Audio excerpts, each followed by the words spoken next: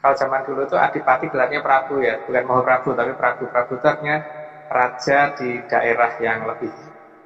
Uh, kalau sekarang sih mungkin kayak negara bagian, karena negara zaman dulu kan sifatnya negara bagian ya, bukan bukan kayak kayak provinsi gitu bukan. Jadi negara bagian dan salah satu kepala negara bagian, salah satu negara kepala negara bagian tersebut di Kadipaten Galuh itu dipegang oleh sang Prabu Bogor Pada.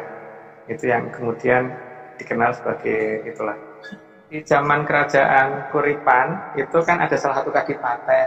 Kadipaten itu namanya Kadipaten Galuh itu yang di, eh, dipimpin oleh seorang adipati yang sangat hebat sekali yang bernama Prabu Bogor Prada. Nama Prabu itu raja atau adipati di negara bagian ya. Jadi kalau pusat negara kan Moho Prabu.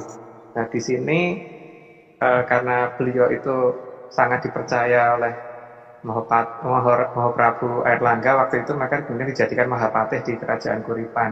Kuripan ya, saya ngomong Kuripan, bukan Kahuripan. Sekali lagi bahwa nama kerajaannya Kuripan ya, bukan Kahuripan. Karena memang yang saya kenal namanya Kuripan. Jadi beliau diangkat sebagai Mahapatih yang bergerak Mahapatih Bogor Padah atau Sang Mahapatih uh, yang tadinya seorang prabu atau seorang adipati di kerajaan Galuh. Sapu regel itu artinya sapu yang yang yang itu apa sapu yang jeprak-jeprak itu loh. Makanya kadang-kadang juga disebut bah jeprak. Jadi kalau mengenal nama-nama itu berarti nama-nama itu tuh nama-nama yang nggak jauh dari Sungai Berantas ya.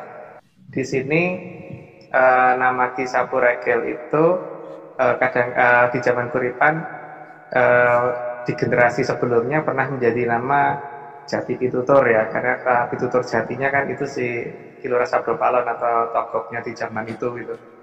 Atau di zaman setelah itu di zaman Kuripa tapi yang di setelah itu itu pakai nama Jurudyah Prasonto atau Judeh Prasonto. Karena memang sakti banget ya sakti mumpuni pinter cerdas dan semuanya dia dapat lah. Dan tidak ada kekurangannya sama sekali.